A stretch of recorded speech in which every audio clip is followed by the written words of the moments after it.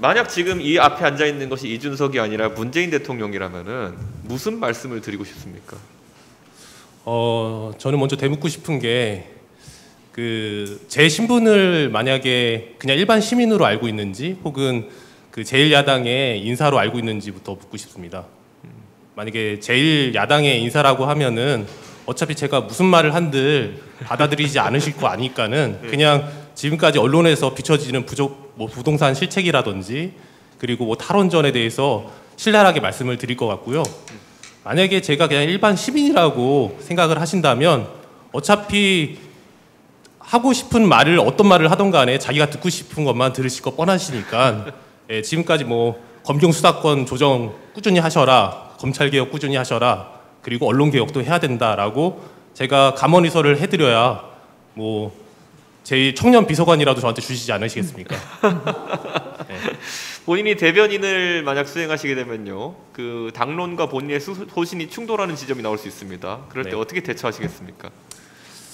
저는 대변이라는 자리가 제 소신을 내는 자리가 아니라고 생각을 합니다.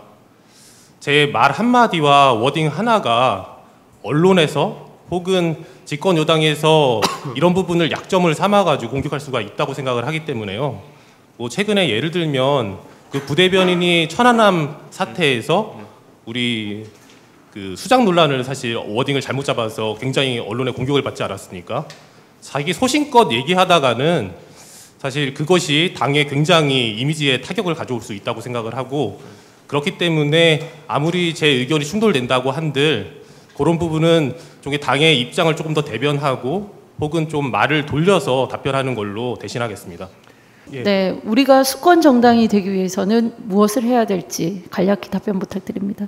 저희가 수권 정당이 되기 위해서는 대선을 앞두고 뭐 이재명의 기본소득이라든지 그뭐 지금까지 논의되고 있는 굉장히, 굉장히 혁신적인 진영 논리를 떠나서 지금까지 거론되고 있는 국정 정책에 대해서 적극적으로 수용할 수도 있고 오픈마인드로 이런 것에 대해서 충분히 논의할 수 있는 자세가 열려 있어야 된다고 생각을 합니다.